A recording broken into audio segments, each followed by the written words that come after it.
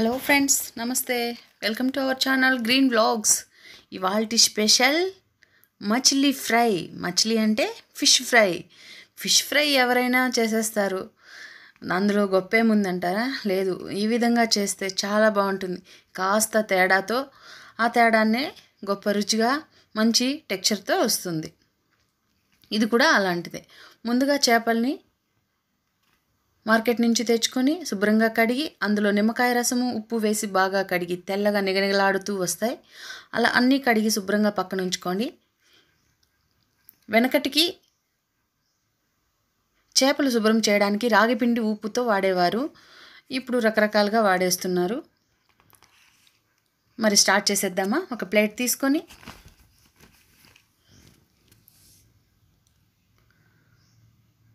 కొద్దిగా సాల్టు అలాగే ఒక టీ స్పూన్ పసుపు ఒక టీ స్పూన్ కారము ఒక టీ స్పూన్ ధనియాల పొడి.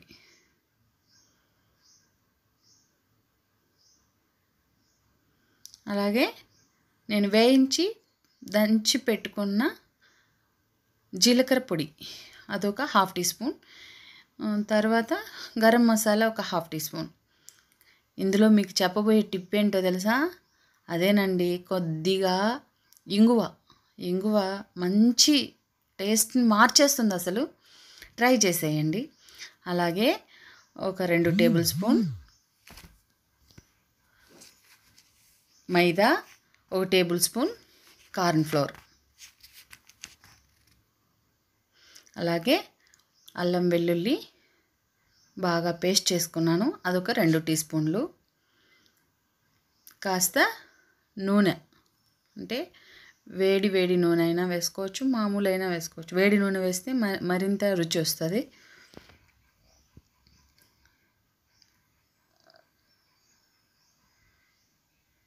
ఇది వేసుకొని అలాగే ఒక అర నిమ్మ చెక్క రసం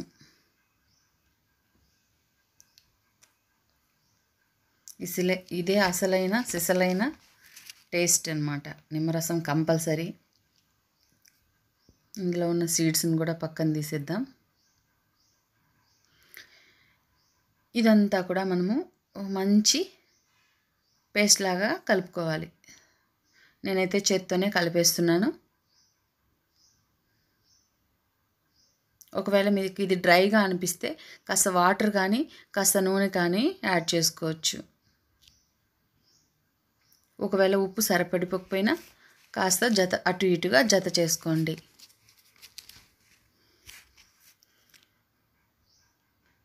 ఇప్పుడు మనము కలిపి పెట్టుకున్న కడిగి క్లీన్ చేసి పెట్టుకున్న చేపల్ని మంచి మసాజ్ లాగా చేయాలి ఈ పేస్ట్తో.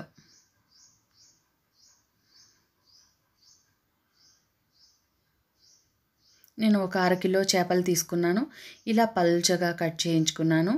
పైన స్కిన్ అనేది కూడా రిమూవ్ చేసేసాను. అలా చేసిన తర్వాత కొద్ది కొద్దిగా పేస్ట్ తీసుకొని ఇలా ఈ ఫిష్ ముక్కకంతా కూడా మనము పట్టించాలి. ఈ మసాజ్ చేయాలి.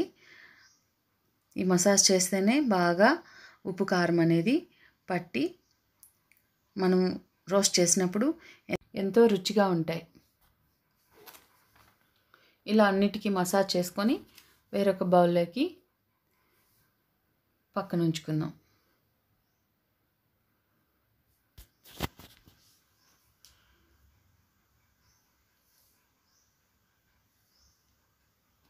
ఇలా అన్నీ తయారు చేసి పెట్టుకున్న తర్వాత ఒక ప్లేట్లోకి సర్ది పెట్టుకుందాము ఇలా సర్ది పెట్టుకున్న తర్వాత ఒక బౌల్లో వేసుకొని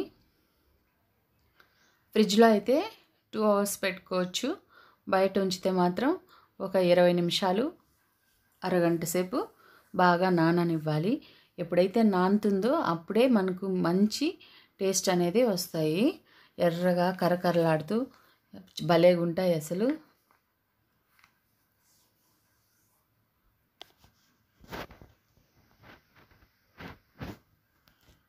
అలాగే నా వీడియోస్ మొదటిసారి చూస్తున్న వాళ్ళు లైక్ చేయండి.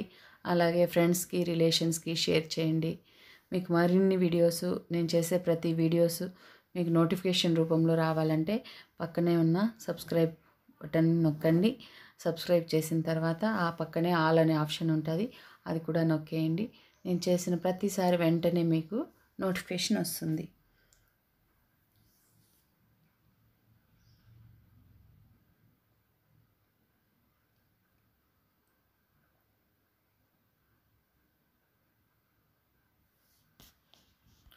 అలాగే నేను హాఫ్ అన్ అవర్ తర్వాత తీసుకున్నాను.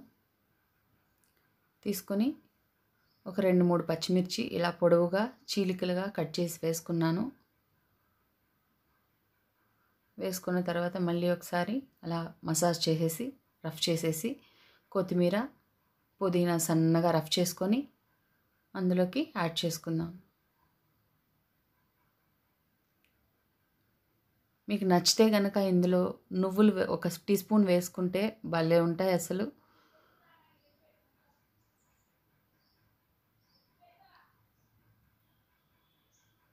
ఇలా మళ్ళీ ఒకసారి అంతా కలుపుకొని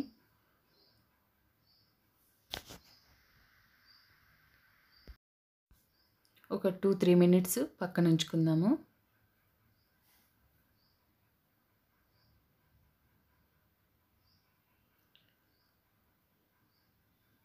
మనకు రెడీ అయిపోయినాయండి.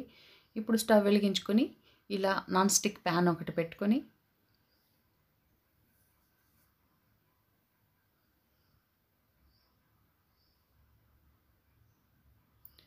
ఆయిల్ ఆయిల్ అనేది ముందుగా ఒక ప్యాన్కి అంతా అప్లై చేసేయాలి.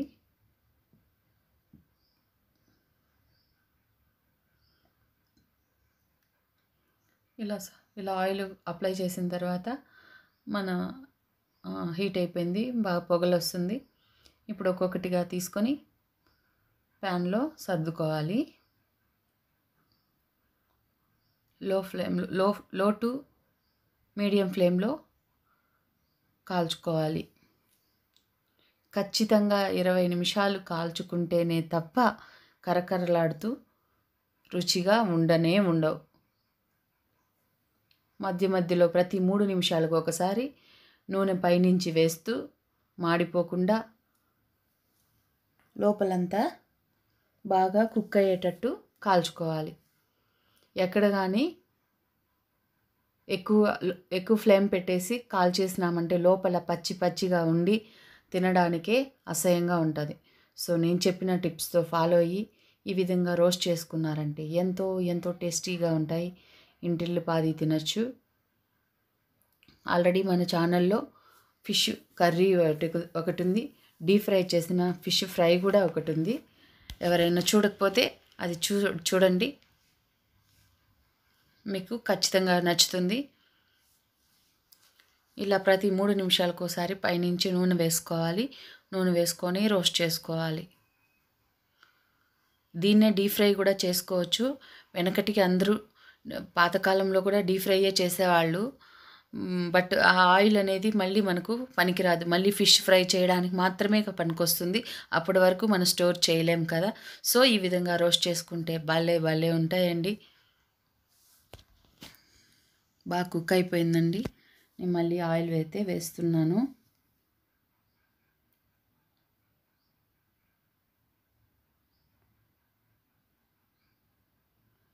వడలాగుంటుందండి టేస్ట్. ఇది పప్పుచారులోకి కానీ పప్పు పప్పులోకి కానీ రసంలో కానీ దేనికైనా భలే ఉంటాయండి. ఈ చేప ముక్క నంజుకొని నంచుకొని తింటే ఇంకా నేను మీకు చెప్పాలా? మీకు బాగా తెలుసండి ఎలా ఉంటుందో ఆ రుచి అనేది. అయితే ఈ వీడియో మీకు నచ్చిందని అనుకుంటున్నాను. ఈ ఫిష్ ఫ్రై మీ మీరు మాత్రం ట్రై చేసి మీకు ఎలా వచ్చిందో కమెంట్ సెక్షన్లో నాకు చెప్పండి. అంతవరకు బాయ్. మళ్ళీ ఒక మంచి వీడియోతో మళ్ళీ మీ ముందుంటాను. Thank you.